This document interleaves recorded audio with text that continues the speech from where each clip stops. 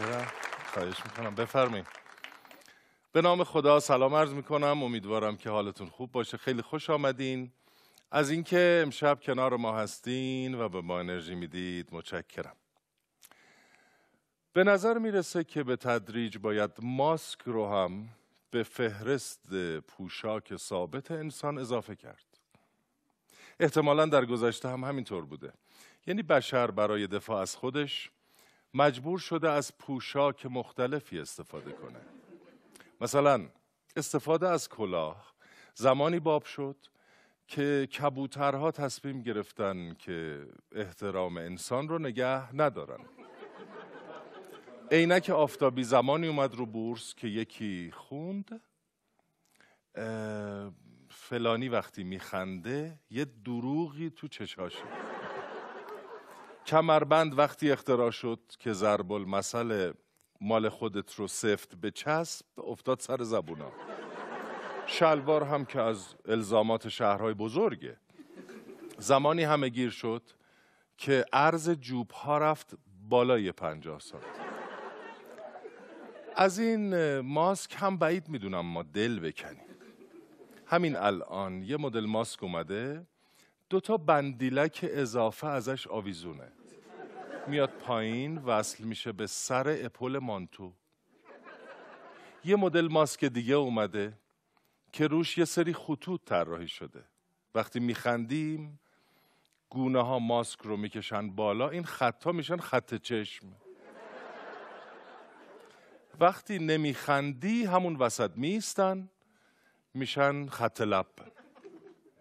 وقتی گریه می‌کنی میرن پایین میشن چال چونه. فقط این پوشش جدید یه ایراد خیلی بزرگ داره. این که به احتمال زیاد اون چند نفری هم که در عروسی روشون نمی‌شد برقصن حالا دیگه میان وسط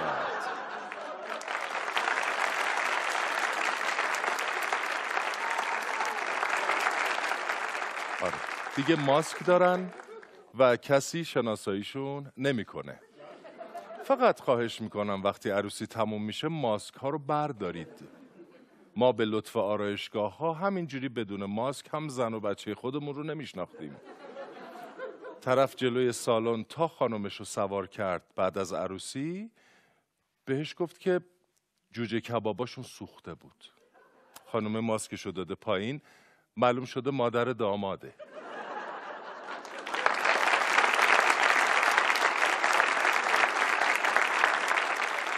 خب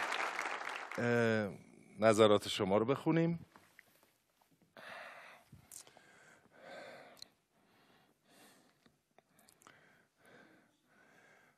همه میگن شلوارت چقدر گشاده. من می‌خوام بگم چقدر بلنده یکم کوتاهش کن.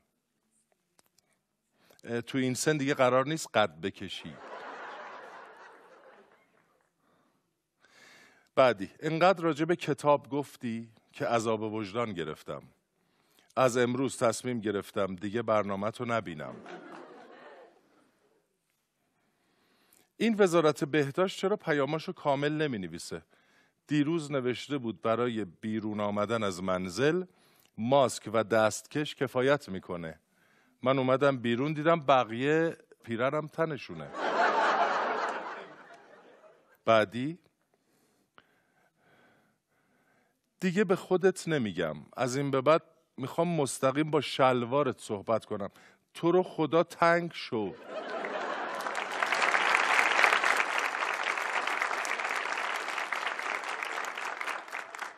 انقدر دستامو شستم رسیدم به تقلب هایی که سال هفتاد و چهار رو دستام نوشته بودم. بله. این پیجی که در پایین تصویر نوشته شده در واقع پیج اصلی ماست و خواهش می‌کنم که نظرات و کامنت هاتون رو و پیشنهاداتتون رو برای ما بفرستید به این آدرس و به این پیج. تمام ترسم اینه که وسط این داستانهای قرنطینه و خونه نشینی و اینا یهو بگن یه ویروسی اومده که از طریق باز کردن در یخچال منتقل میشه. چون تنها دلخوشی ما در این روزها همین یخچاله. ممکنه هر بار که درشو باز می‌کنیم چیزی نخوریم اما همینی که هست خودش قوت قلب. من روز هفتم قرنطینه این پلک چپم گیر کرد لای در یخچال. یعنی برای اینکه می‌خواستم از اون لا نگاه کنم ببینم وقتی درش بسته میشه بازم چراغ توش روشنه یا خاموش میشه. از محاسن برنامه ما اینه که هدفمون فقط خنده و شوخی نیست بحث آموزشی هم داریم. خیلی ها پرسیدن چیکار کنیم که در دوران خانه نشینی وزنمون بالا نره؟ خب باید رعایت کنیم دیگه. من خودم تو این هفته دو کیلو هم اومدم پایین. البته اقربه ترازوم رو گذاشتم رو منفی پنج. پیشنهاد شما می کار بکنید. یک کیلو برم بالا اونو دوتا می‌کشم دوباره عقب.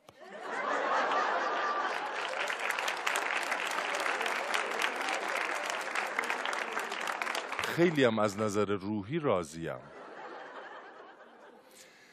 به طور کلی باید یه مدت سر خودمون رو به کارهای دیگه ای گرم کنیم. مثلا خود من زیاد به محصولات ضد عفونی کننده در بازار اعتقادی ندارم. خودم برای خودم درست می‌کنم.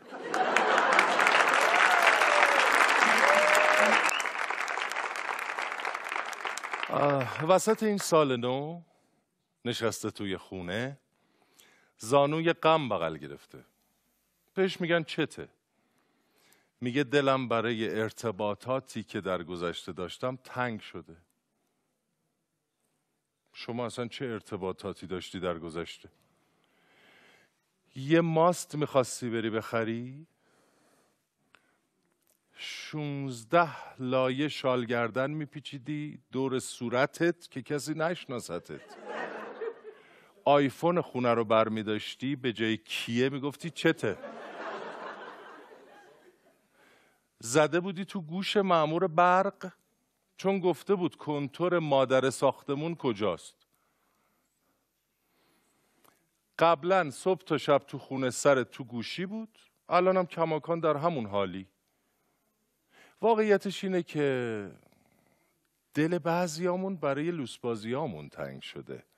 حالا که همه تو خونه دیگه نمیشه بگی من یک انسان منزویم که دل از دنیا بریده و به گوشه تنهایی خیش خزیده. الان که مرگ و میر داره مد میشه دیگه نمیشه پست گذاشت جز مرگ آرزویی ندارم. همونایی که آرزویی جز مرگ نداشتن الان از چشمی در می‌خوان بیرون رو نگاه کنن علاوه بر ماسک و عینک و کلاه یه شلوارم رو پیجامشون میپوشن.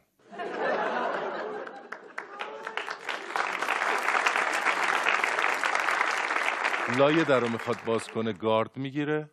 شبیه اون کشتیگیر معروفه میترسه که کرونا روی فنون بالاتنه کار کنه. سوالم رو تکرار می‌کنم. دقیقا دلمون برای کدوم یک از ارتباطاتمون تنگ شده؟ مگه ما نبودیم که موبایل ها همه last seen recently بلک لیست گوشی ها در حال انفجار؟ پیامگیر تلفن ها در حال حاضر مقدور نمی باشد شیشه ماشینا دودی صفحات مجازی پرایوت فک و فامیل همه بلاک. افتخارمون این بود که 20 ساله دارم تو این محل زندگی می‌کنم هیچ کس منو نمی‌شناسه. ما یه بار از خونه میام بیرون همه فرار می‌کنن میرن تو خونه هاشون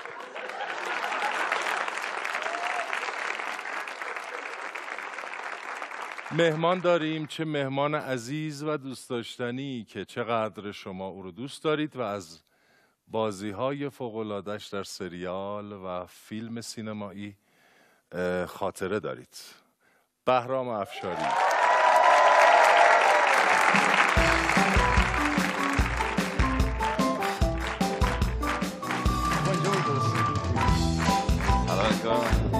آقا سلام. خوب.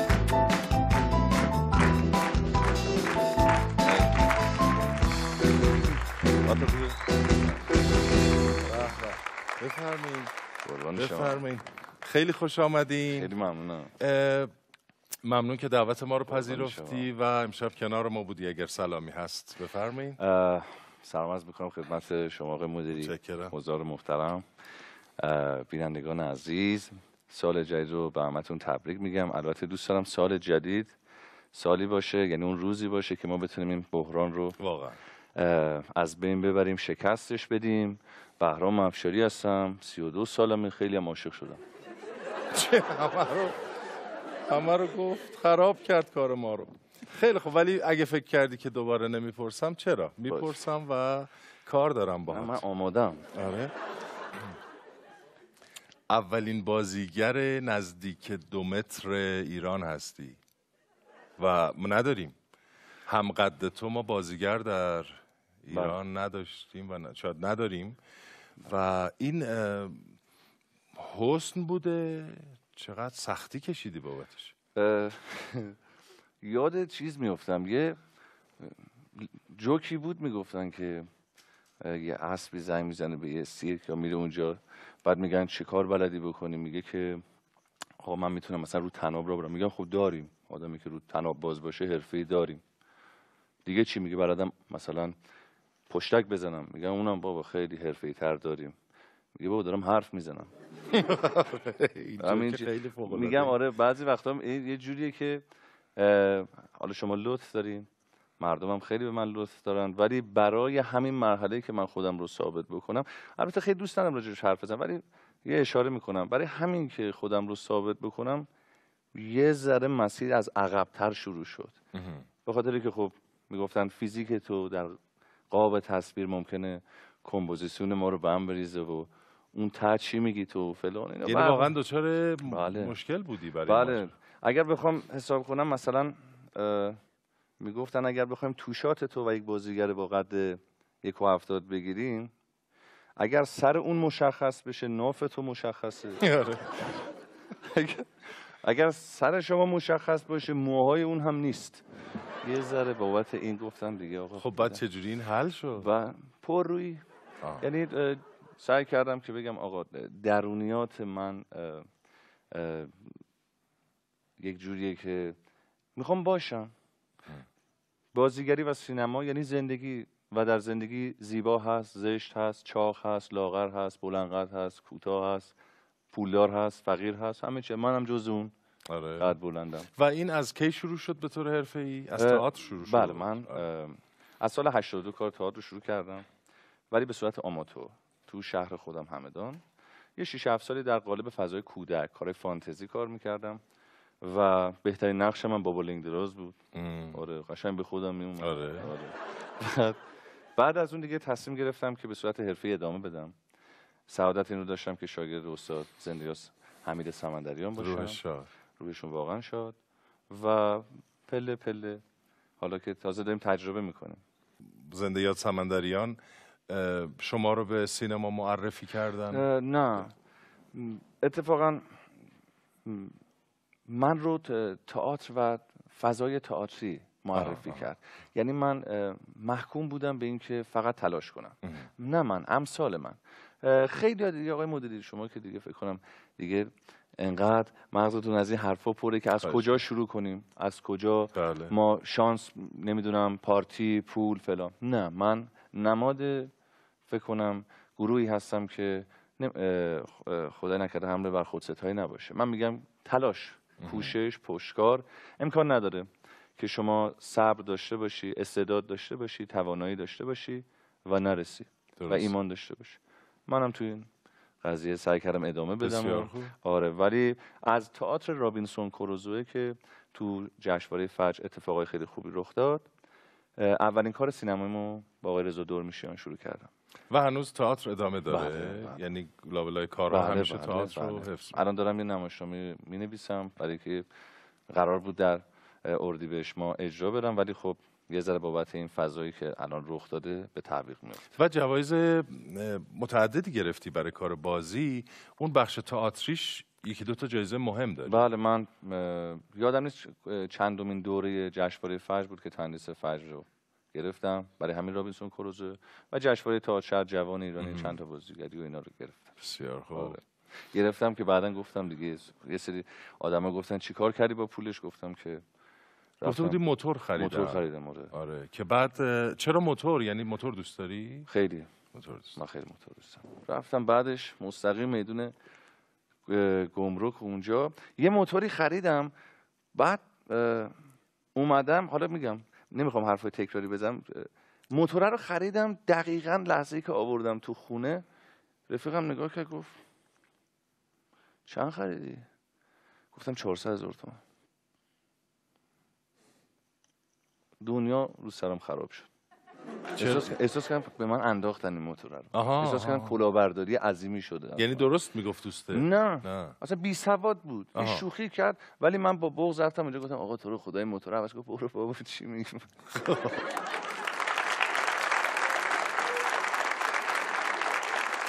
گفتی اولین کار تصویری کار آقای رضا دورمیشان دورمیشیان، نیستم. عصبانی، سینمایی. بله بله. و تلویزیون رو با پایتخت. نه.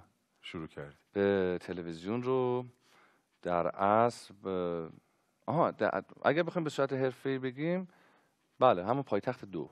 آره که خیلی بله، دیده شد بله، و بله. آره. چ- چطور دعوت شدی به پایتخت؟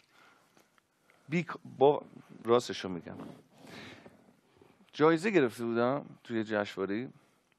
بعد بیکار بودم. یعنی خب تئاتر باید شکل بگیره. بعد ما بله. مثلا میومدیم آقای مدیری. یه تئاتری رو تمرین می‌کردیم سه ماه چهار ماه. یهو مثلا داورا میشستن می‌گفتن نه خداحافظ. یعنی هیچی. دوباره برو حالا سمت یه تئاتر دیگه بیا تمرین کن. ام. من توی چایخونه نشسته بودم و بیکار الله خدای یعنی چی این چه وضعیه فلان. یکی به من زنگ زد گفت آقای احمد مهرانفر دنبال شماره شما میگرده. من برای چی؟ گفت برای نمی‌دونم بهش زنگ بزنم. ما آقای احمد مهرانفر بعد من اون زمان فن پایتخت بودم. خیلی پایتخت رو دوستش. ما زنگ زدیم. آقای مهرانفر گفتش که کجایی؟ می‌تونی بیای دفتر آقای مقدم؟ گفتم بله. گفت باشو بیا. تقریبا فکر کنم آذر ماه بود سرما. ما هم یه موتور داشت سوار موتور شدیم. یه تگرگ وحشتناکی گرفت تو اتوبان مدرس. می‌زد این دستا این دستا و یعنی دیگه تلاپاتی اینا رو داشتم می‌گرفتم. رسیدم اونجا. گفتم خب الان من با این تیپ و این جوری و می‌خوام برم تو دفتر. کاپشن رو در آوردم گذاشتم توی یه ذره خودم رو تمیز کردم و سعی کردم یه ذره مثلا پررو برم تو. تا رفتم تو آقای تنابنده که منو دید مسلما اولین سوال که گفت قدت چنده؟ ما هم رفتیم گفتم آقا من اومدم اینجا مثلا راجع به بازیگری و اینا قد و فلان. دیگه خلاصه اونجا باعث شد که این اعتماد شکل بگیره و. آره سعادت این رو داشتم که در پایتخت و. چقدر در سریال پایتخت خوبی چقدر درجه. یکی همه بازیگرا. اصلا انقدر این سریال فوق العاده است و مردم دوست دارن و تو هم خودت یکی از بهترین هایی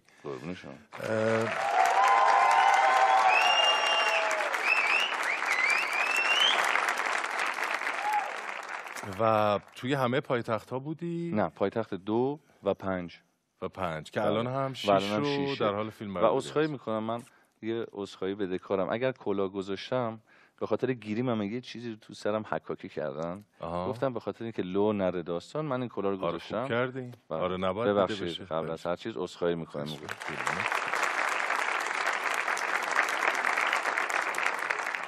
در تلویزیون پس خیلی دیده شدی بله. با اینکه قبلش تئاتر و سینما هم کار کرده بودی ولی- بله یه فیلم ب- اه، هر سال حضور داشتم تو جشنواره فجر با فیلم کارگر ساده نیازمندیم با فیلم آها. لانتوری با قبلش با ایران برگر. ولی خب به هر حال پایتخت به دلیل اینکه مخاطب زیادی, زیادی داشت بله.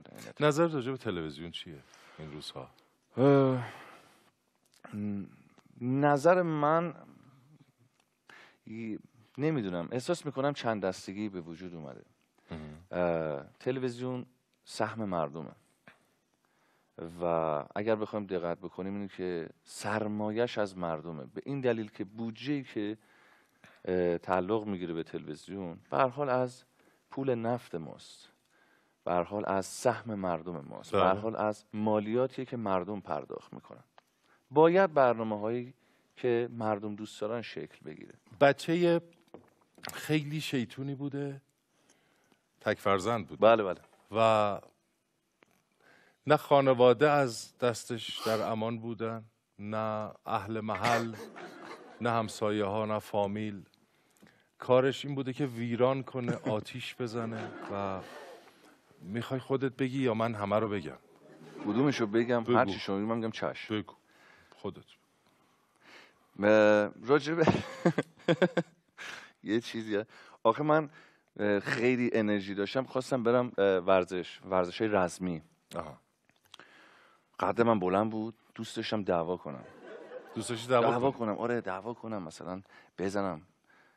بعد رفتم سانشو. رفتم سانشو روز اول جمعیت وایستاده بودن اونا مثل من. من همون ته وایستاده بودم منتها از اینجا به بالا. یه مربی اومد انقدر. گفت اوس. همه گفتم اوس. گفت خیلی خوب. با لحجه همدانی میگم. گفت خیلی خوب. فنی که می‌خوام بهتون یاد بدم فن رانستیکه. شما؟ من اون ته بودم. گفتم بله. گفت شما بیا. ما اومدیم جلو. روز اول. گفت خیلی خوب. وقتی که دعواتان میشه تو خیابان یه دراسر که نداریم. داریم؟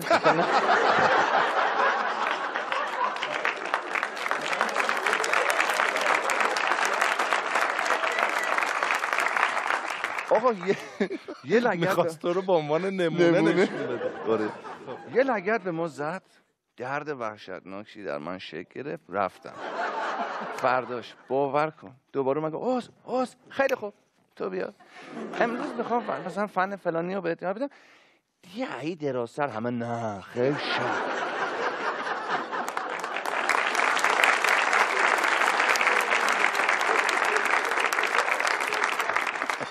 بعد من برگشتم خونه. بابام گفتش که کجا میری اینقدر که بودی؟ گفتم والا من می‌خواستم برم سانشو ولی دیگه نشد. دیگه بعد از اون دیگه نه.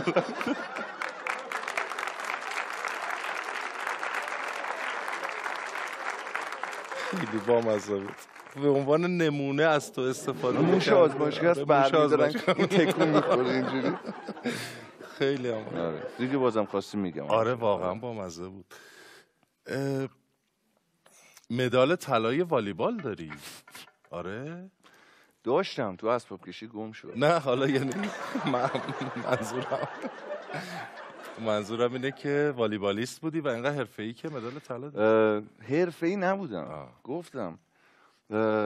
چقدر اینجا میچسبه حرف زدن. آره. آره. مرسی. خیلی انرژی شما انقدر خوبه که خواهش. جامونم میندازیم اینجا. ولی نه من تو هنرستان میگم واقعا نمی‌دونم بیش فعال بودم چی بودم هنوز این یکی از رفیقامون آرمین تشکری که عضو تیم ملی هم بود گفت بابا بیا تو والیبال. ما هم رفتیم تو والیبال و بله قهرمان شدیم. اونا امتیاز می‌گرفتن. من امتیاز آخر رو گرفتم یه مدالی به ما دادن یه گرم کنی هم دادن و تو والیبال. خیلی باید موفق بوده باشی دیگه نه اونجا خاطر- متمایز نبودم. اینجا متمایزم. آها اونجا چون همه اونجا همه همقدر- با همن آره، دیگه. آره همقدر آره درست. اونجا. خیلی خوب. کدوم نقشت رو بیشتر از بقیه دوست دارید؟ کارهایی که تا حالا انجام دادی. چون خیلی نقش های متفاوتی آره بازی من کردی واقعا اه، الان میشه کلیشه ایه. من همه نقشامو دوست دارم. این که نه یه آره. چیز دیگه بگو. یا نقشی که بازی نکردم رو. آره، آره. دیدی اینا که. من دو- واقعا سخته. آره. همون چاره ای ندارید که جز بگی جز این که بگی همه نقشامو خیلی خیلی ممنون. چاره جز این نداره. آره. متولد 66 بله. که گفتی میشه 32 سال. بله. 32 سال. و عاشق و و نه این سوال رو نمی‌پرسم. ازدواج نکردی. نه. چرا؟ خیر. چرا؟ آها چرا؟ چون به بلوغ ازدواج نرسیدم. یعنی چی؟ سخت شد. اینو بلد بودم.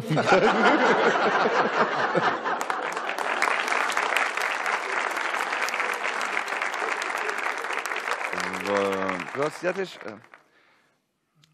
راحت میگم به دلیل اینکه معنای زندگی مشترک رو نفهمیدم. من بچه طلاقم. گفتم آره. من در زندگی بودم که فقط مرد بوده. یعنی من با پدرم زندگی کردم. و بودن مادر یا بودن نیروی به اسم زن در زندگی من در دورانی که دنبال کشف و شود بودم خب نبوده. شاید به من محبت می‌کردن. فامیل. فامیل هم یه زمانی الان یادم من اونا می‌گفتن با مثلا برام نگردین. هر جا میرم به بنبست می‌رسه حالا اونجا هم آره. می‌رسیم که چرا با بهرام نگردیم؟ آره ولی به بلوغ نرسیدم. ولی واقعا یعنی اینکه زندگی مشترک اینکه به هر حال رسیدگی محبت کردن و ولی واقعا بهش فکر می‌کنم. پیش؟ نیومده که در اون در واقع در این تصمیم قرار بگیری یا در این لحظه؟ نه. نه.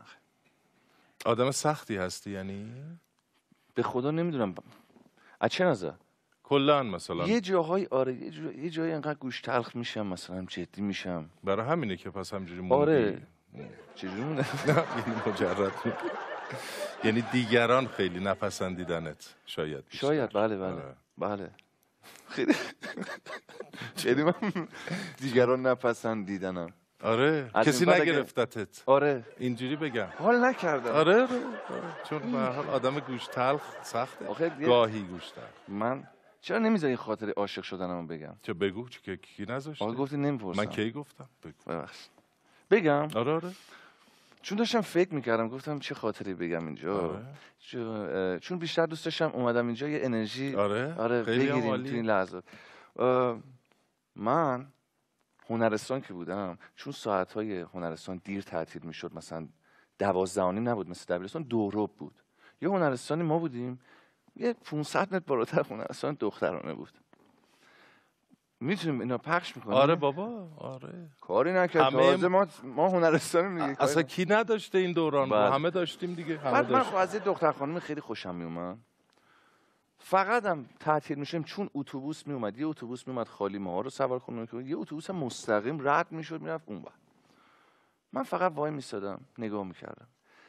این دختر خانم سوار اتوبوس نمی‌شد فقط رد می‌شد. من باور کن فقط یه لبخند می‌زدم. اونم یه لبخند می‌زد. می‌رفت. به فاصله پنجاه متر پشت سرش. مثلا بعضی وقتی می‌خواستم شیرین بازی دارم اهل تیکه انداختن نبودم. ولی مثلا شیرین بازی می‌خواستم در بیارم مثلا می‌گفتم مثلا چرا؟ مثلا ابراز هویت بکنم مثلا آره. بعد فرداش این چند روزی این اتفاق افتاد. یه روز اومد رد شد نگاش کردم گفت خفه شو کسافت.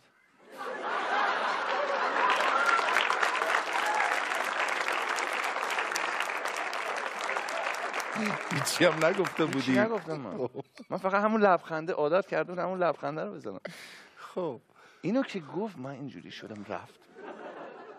آقا ما دل شکسته رفتیم خونه و بماند چه آهنگایی گوش دادیم. فرداش دوباره اومدم دیدمش گفتم لبخند زدم لبخند زد. از این کنتراست رفتاری خیلی دیگه اذیت شده بودم. این چجوریه و اینا. فهمیدم اینا دو تا خواهر دوقلو هم. با هم هم قهرن.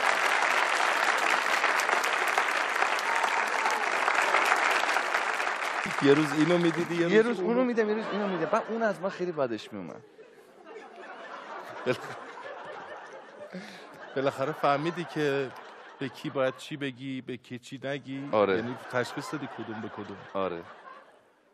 آره. بعد. چی نتیجه ای هم نداشت؟ نتیجه این بود که اگر پخش می‌کنین یه قشنگ یادمه یه بار شجاعت پیدا کردم رفتم دم هنرستان همون دم در اونا. خب؟ ناظمشون اومد با مامورای کلانتری اومدن و خب من رو مورد هدایت قرار دادن.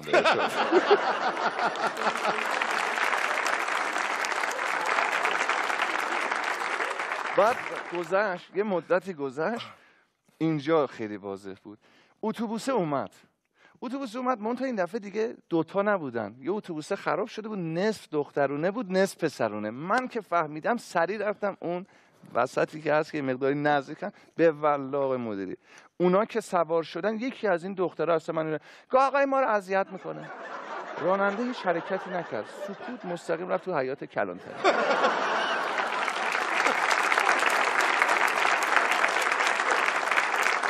و من تو اونجا گیر کرده بودم دیگه. من اون وسطه بودم. یه جایی انتخاب کردم که هیچ راه در روی نشم. از پنجره این ماهی هستن تو آکواریوم نگاه می‌کنن که کی می‌خواد شکارشون کنه. قشنگ راننده در رو پس باز کرد دوباره پس زد که بسته شه کسی نره بیرون. با معمول کرانده جلوی پنجره داشت. منو راهنمایی می‌کرد. من آوردم پایین و دوباره مورد هدایت قرار دادم.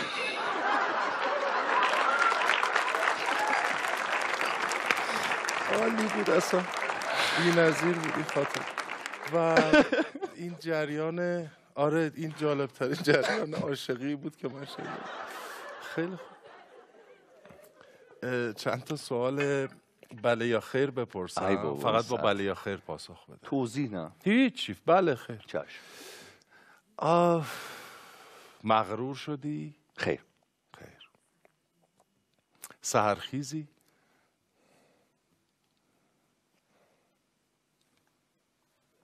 بله.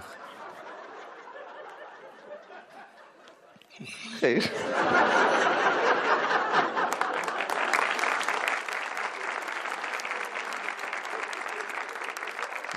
الان همون جایی هستی که بهش فکر می‌کردی؟ خیر. کتک زیاد زدی. بله. و کتک زیاد خوردی. بله. خیر. انتقاد پذیری خیر. خیر. آه. خلاف هم زیاد کرد.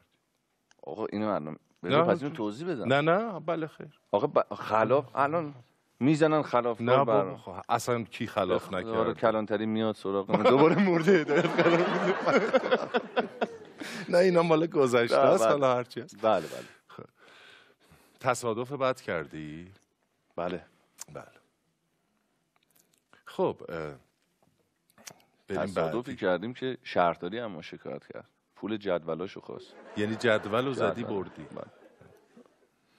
خیلی. جوان برتر تئاتر شدی. به چه معنیه؟ یه جشنواره بود که در همه شاخه‌های هنری داشت این جشنواره رو راه مینداخت در زمینه هنرهای تجسمی و بازیگری و اینا. خب منم توی تئاتری بازی می‌کردم. جایزه جوان. البته اینجا جا داره بگم که من جایزه سوم بازیگری رو گرفتم. نه اول آه. ولی اول دوم سوم اول رو آقای تینو ساله گرفت دوست خوب منه. ولی جزو جوان برتر شدیم. بسیار عالی. بله. معیارت برای انتخاب نقش چیه وقتی بهت پیشنهاد کار میدن؟ چه چیزایی برات مهمه؟ چیزی که از گذشته من نخوان یعنی اگر نقشی رو دیدن اولین جمله که ببین همون نقشی بود که تو فلانی بازی کردی نه. آه. چیزی که از گذشته من بخوان اذیت هم می‌کنه. چیزی که بگن حتی مثلا به این نقش نمی‌خوری گیر میدم به اون.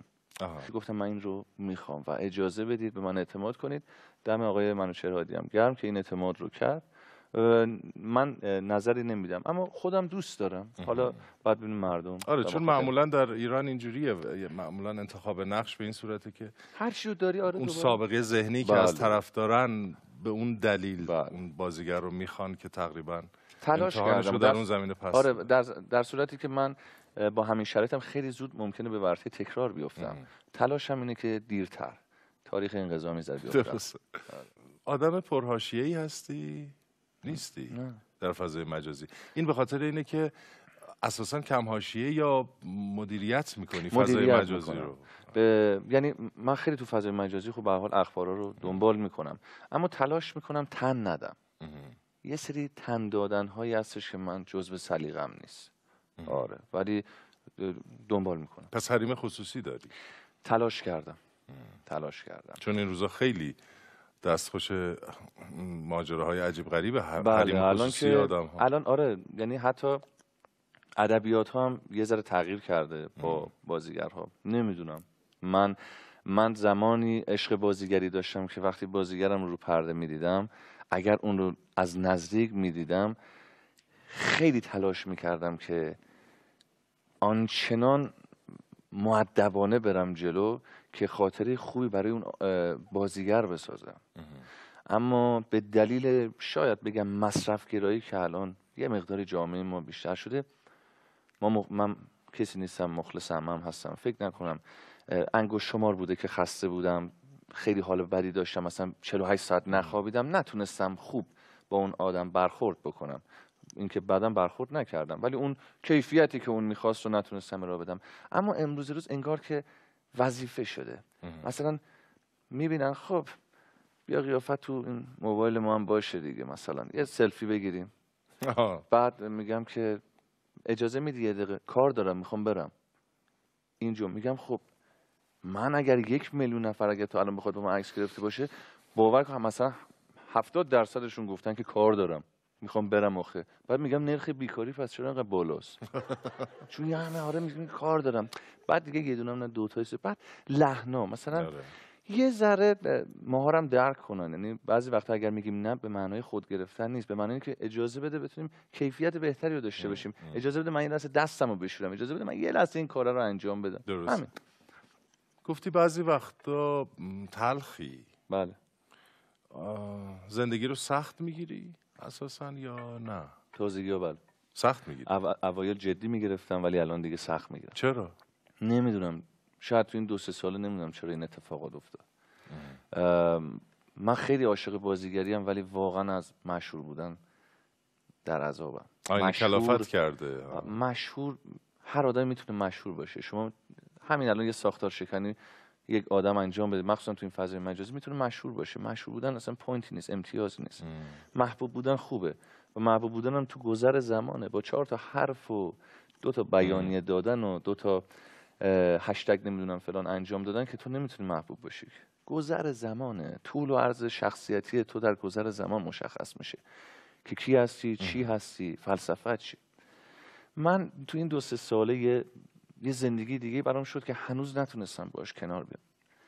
یعنی هنوز دلم تنگ شده مثلا برای اینکه برم تو خیابون. البته بگم من کسی نیستم. فقط دارم میگم اون نگاهی پشت من نباشه بتونم راه برم. دوباره اون هیجانات خودم رو داشته باشم. نمی‌دونم. هنوز باش کنار نیومدم.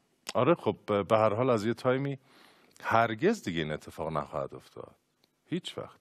ده سال دیگه آره. هم. نه 15 سال دیگه هم نه. نمی‌دونم. یک جهان جدیدیه که آدم واردش میشه و دیگه ناگزیره که فقط امیدوارم که حداقل آزاری نرسونم یعنی اذیتی نکنم انرژی منفی ندم پس به خاطر همین سعی می‌کنم مدیریت کنم ولی سخته دیگه آره سخت آره. آره. شکل زندگی آدم عوض میشه خیلی اگه بازیگر نمی‌شدی چی کار می‌کردی؟ چه. علاقه دیگری داشتی که یه اینو خیلی دیده بودم مثلا که اگه بازیگر میشم خلافکار می‌شدم. من با فام بود. ولی واقعا من خیلی به فوتبال علاقه داشتم. خیلی فوتبال. فوتبالیست یعنی فوتبالیست بودم. ولی نشد دیگه. بابام اجازه نداد اون روزی که قرار بود از یه تیم باشگاهی منو بخوام اجازه نداد و خوشحالی؟ فوتبال برام هیجان انگیزتره هیجان انگیزتر از این حرفه. خیلی. من الان هیجانی در کارم نمی‌بینم. مگر اینکه نقشه متفاوت رو در خلوت خودم بتونم اتود بزنم. اینا برام هیجانه. وگرنه چیز دیگه ای نداره برام. عاشقشم یعنی عاشق بازیگری و به نظر من من بازیگر درمانی کردم. یعنی من حتی مشاورم رفتم به دلیل سری از مشکلاتی که داشتم. گفت تو بیشتر بازیگر درمانی کردی. یعنی اون نیروی درونیت رو که به سمت تخریب می‌خواست بره. من اگر می‌رفتم بدنسازی 20 کیلو هم اضافه می‌کردم یه غمه از دیگه. می‌دونی چی میگم؟ دیگه آره، به آره، سمت. تخریب می‌رفتم. ولی خدا رو شاکرم. دعای خیر پدر مادرم بود. لطف خدا و انرژی مثبتی که همه آدم های دور اطراف زندگی من بود سعی کردم به سمت سازندگی بره. حالا دیگه نمی‌دونم در آینده. چه اتفاقی میفته و تاثیرگذارترین آدم زندگیت کیه؟ مسلما پدرم. ولی خب در غیر حیات که نیست ولی همیشه هست. روحش اهل مطالعه؟ گهگوداری واقعا. یعنی انقدر سر کار میریم و خسته فیلم دیدن؟ بله اینا رو. سعی می‌کنم اگر بخوای که دو تا فیلم معرفی کنی که مردم تو این روزهای سخت توی خونه ببینن. آه، باید دو تا فیلمی که مثلا. خودت خیلی دوست داشتی و 1917 رو خیلی دوست دارم. آره. خیلی اون خوبه. بعد فیلم آیم دنیل بلیک مال 2016 است فکر کنم تو اون جشنواره کن جایزه آره، آره. گرفت. اونم خیلی دوست دارم. این دوتا فیلم خارجیه ولی فیلم های ایرانی هم نه که همون. خارجی کافی همون که معرفی می‌کنی خیلی خوبه. و چند تا کلمه میگم. بله. خوش با یک کلمه یا یه جمله کوتاه حس تو بگو. چشم. نسبت به اون. ممنوع تصویری. وحشتناک. شکست. وحشتناکتر. بهداشت. دلم گرفت الان خیلی الان بهتاش به بهتاش اسم شخصیت خودم گفتم. بهداشت لازم. خیلی لازم. تو بهداشت رو میگی؟ من بهتاش نه. پس چی گفتی؟ بهداشت رو- تو به- داری چی رو میگی؟ اجازه بده. نه سب اجازه تو بده. الان چی رو گفتی؟ الان الان گیر ما بهتاش؟ بیانه دیگه. تو بهتاش رو ما گیرمون بیانه. نه. بهتاش یا بهداشت نه نشد. من زبلم. تو بهتاش رو گفتی الان. نه من بهداشت رو گفتم. تو بهداشت رو گفتی. بله. دلت می‌گیره از بهداشت؟ نه آره دیگه. چرا؟ به دلیل اینکه پوست دستم رفته.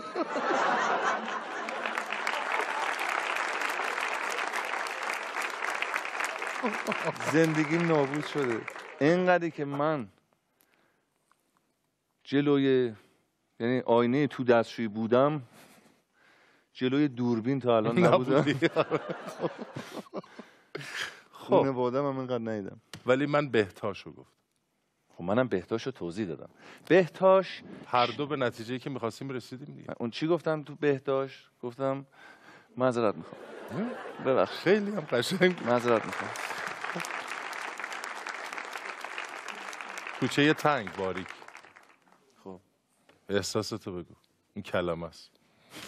احساس کوچه تنگ و باریک چه احساسی برای من می‌خوام نه. نه. احساسی نداره. حالا بگی کوچه فراخ. نه. کوچه تنگ. و باریک. بروسلی. اوه.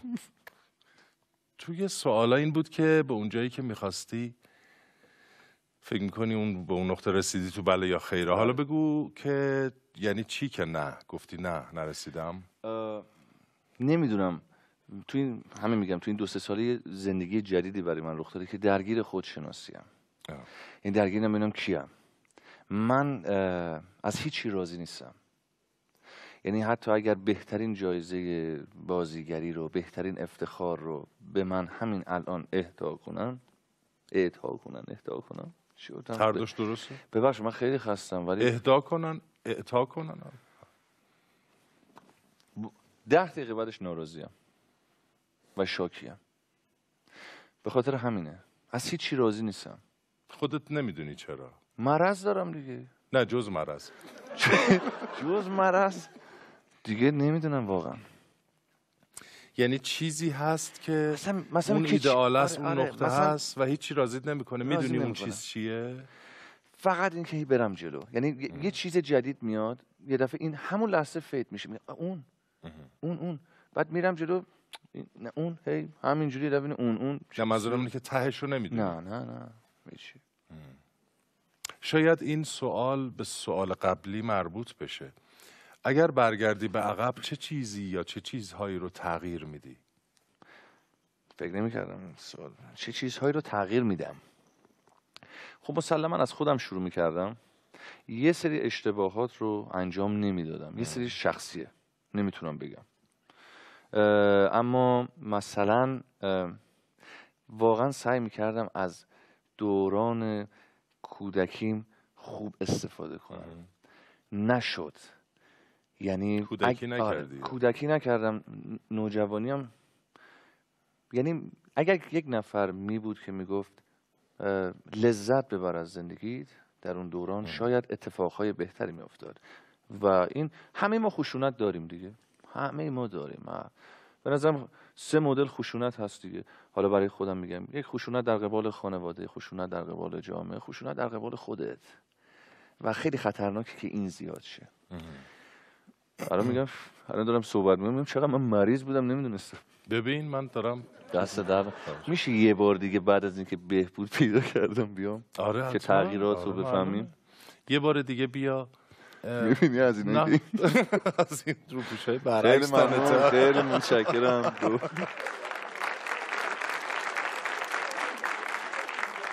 دو تا مامورم گذاشتم نه واقعا یکم که بعضی از این حسات عوض شد. واقعا جدی میگم چقدر مفید خواهد بود برای خیلی ها خواهش می‌کنم که بیای و دوباره یه گپ های بیشتری و بهتری با هم بزنیم و این مقایسه ده هم برای خودت جذابه هم برای بله.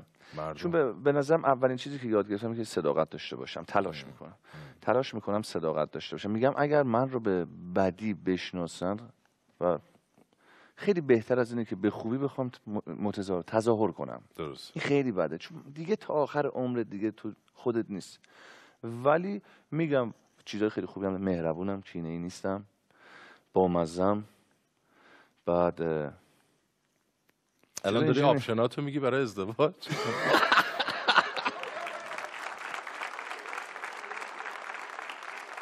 مهربونی با مزه مهربونم. آشپزی بلد نیستم. نیستی؟ بعد. چی شد؟ از کجا به کجا خیلی هم عالی. خیلی هم عالی. خست نمی کنم آخرین سوال به رسم دور همی احساس خوشبختی داری؟ خیر. خیر؟ بله. نمی‌خوای راجبش چرا؟ خوشبختی برای من هیچ وقت فردی نبوده. اصلا نمی‌خوام از این حرفای قهرمانانه اصلا معلوم اصلا مال من نیست. ولی نمی‌تونم درک کنم اینکه بیام وقتی که از خونم میام بیرون لبخندی نمی‌بینم. نه اینکه بگم چقدر مردم مهمن نه مردم در اندازه و اون محدوده خودش برای من مهمن. ولی وقتی که انرژی نمی‌گیرم به چی دل خوش باشم اگر بخوام فردی بله خب آره کیفیت زندگی داره بهتر میشه ولی من اینو نخواستم از زندگی. من این رو از بازیگری نخواستم. من چیزی رو که خواستم جمعی بوده. یعنی چون تنهایی زیادی کشیدم جمع رو بیشتر دوست دارم و خوشبختی رو در جمع می‌بینم. اگر من در یک اه، فضایی قرار بگیرم که در خیابون میرم اگر نمیگم از هزار نفر صد نفر اما اگر 20 نفرم بخندن شاید من به این فکر کنم که چقدر امروز حالم بهتره. پس می‌تونم به اون سمت خوشبختی برسم. واقعا این ساده است ولی همیشه ذهن من مشغول کرد. امیدوارم که این روزهای سخت و عجیب بگذره, بگذره. و همه ما به این انرژی نیاز داریم. بله. هم ما از مردم هم اینکه ما انرژی داشته باشیم بتونیم بله. کارمون رو به خوبی انجام بدیم. امیدوارم روزهای بهتر و خیلی درخشانی در انتظار این مردم باشه که واقعا حقشونه. بله. من یه چیزی هم آره حتما. می‌کنم پر حرفی نکنم. حرفم با یک عده از مردم کشور. نمی‌دونم این برنامه کی می‌خواد پخش بشه. نمی‌دونم اون روزی که این برنامه پخش میشه چه خونواده هایی چه عزیزایی از دست دادن. نمی‌دونم. با این فاجعه که داره رخ میده.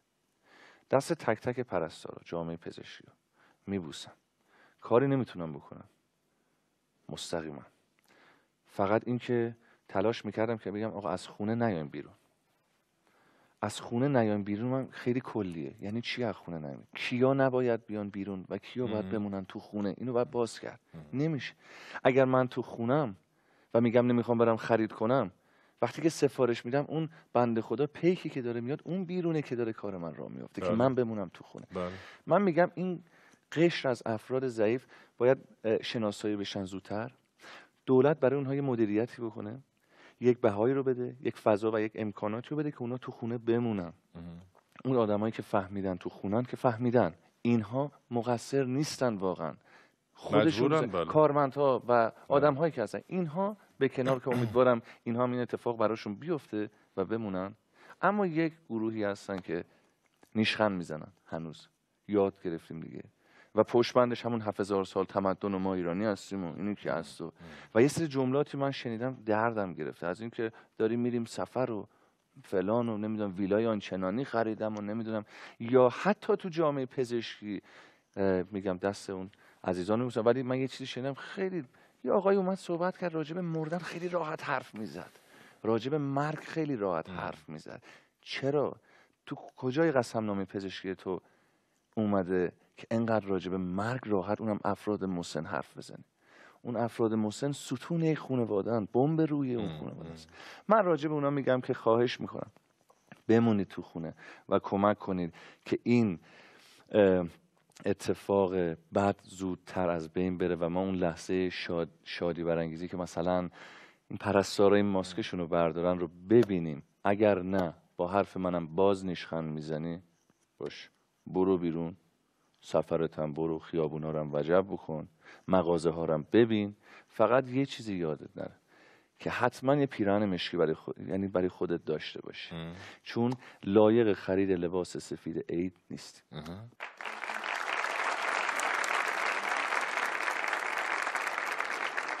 امیدوارم باز هم امیدوارم هممون امیدواریم که این روزهای تلخ و سخت بگذره و حالمون بهتر از این باشه.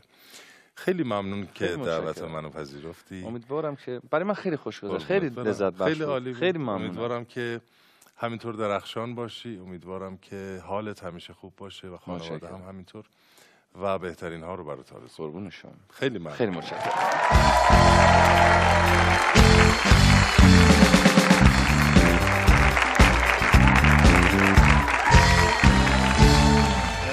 یه موضوع دیگرم بگم تا یادم نرفته قبلا هم یه اشاره بهش داشتم ولی مهمه.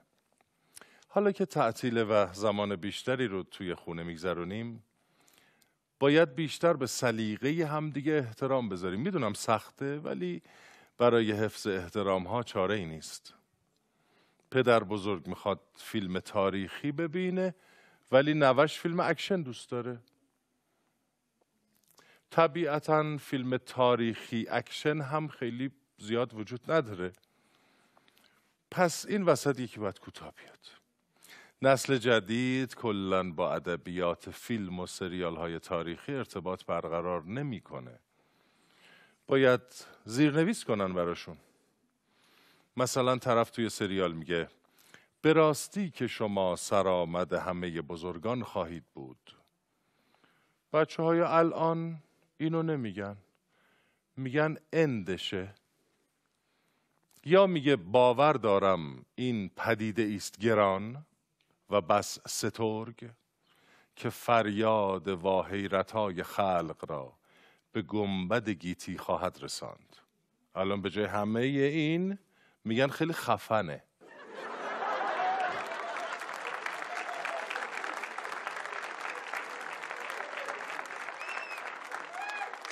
بعد از شیوع این ویروس چینی ها این مزخرفاتی که میخوردن رو کنار گذاشتن. در اشتباهید.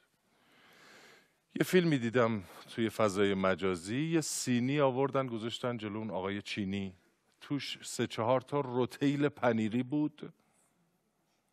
یه تیکه سینه هشپا بود. و سه چهار تا هم مغز میمون دورچین پیاز جعفری. گفتم حالا این که چجوری اصلا این اینا رو می‌تونه بخوره به کنار؟ چرا این همه واسه یه نفر؟ گفتن چینی اگه بیفته به کرخوری این میشه. بله. نظرات شما رو بخونیم. مجدد. مدیری. خیلی کامنت عجیبیه. مدیری فکر کردی تا حالا که اون لیوان کنار کیسه برنج تو کابینت چقدر تنهاست؟ چند سال دیگه اگر یکی یه کتاب از اتفاقاتی که در سال 98 افتاد بنویسه میگن کتابت خیلی فانتزیه یکم واقعی ترش کن. همش دارم فکر می‌کنم این شهاب که قرار بخوره به زمین رو ضد عفونی کردن یا نه؟ بعدی. مدیری چرا موقع حرف زدن مهمون خیلی وقتا پایین رو نگاه می‌کنی؟ سرتو بالا بگیر مرد. خجالت نکش. به وزیر ارتباطات بگو نفری پنجاه گیگ. می‌ذاریم روی صد گیگ اینترنت رایگانی که دادین. سرعت قبل رو برگردونیم بعدی. آقای مدیری یک بار هم خودت بیا جلو دوربین به جای این مجری.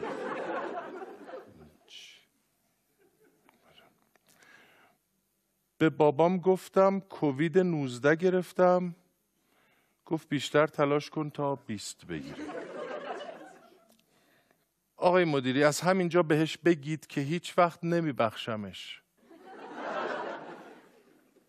همین. بعدی؟ خواهشان بگید ما بزرگتر میشیم. باید عیدی رو بیشتر کنن نه اینکه جوراب بدن. مگه روز مرده؟ آها اینم هست. سوپ هویجی که مامان من درست می‌کنه از سوپ خفاش خطرناکتره. یه دفعه نمی‌کشه زجر کش می‌کنه. بله. یک بار دیگه پیج رو عرض می‌کنم. این پیج اصلی و رسمی ماست. در زیر تصویر می‌بینید نظراتتون رو به این پیج ارسال کنید لطفا. و حرف آخر. سخنگوی کمیسیون اصل 90 مجلس فرمودند که مقصر اصلی شیوع کرونا در کشور سازمان هواپیماییه و قطعا در این زمینه تحقیق و تفحص لازم صورت خواهد گرفت. سوالی که پیش میاد اینه که در مجلس محترم کمیسیونی تحت عنوان کمیسیون پیشگیری از وقوع فاجعه وجود نداره. تا همین یکی دو هفته پیش خیلی از کاربرهای عادی فضای مجازی بدون نیاز به هیچ تحقیق و تفحصی از اینکه پروازهایی به چین ادامه داره ابراز تعجب می‌کردن. حالا که شده اون چیزی که نباید می‌شده دیگه چه تفحصی؟ شنیده شدن و دیده شدن به هر قیمتی فضیلت نیست. قبلا هم گفتم میشه یه لوله کش کار بلد بود که کل محل دعاش می‌کنن؟ میشه به جای دیپلماتی که پای ثابت تمام جوک هاست یه معلم دلسوز گمنام بود یا یک راننده تاکسی با, با وجدان بود؟ یا یه معمور وظیفه شناس گمنام بود. خیلی ممنونم که امشب انقدر گرم و پر انرژی با ما بودین. امیدوارم همیشه حالتون خوب باشه و بهترین ها رو براتون آرزو می‌کنم. شب بخیر. خداحافظ Thank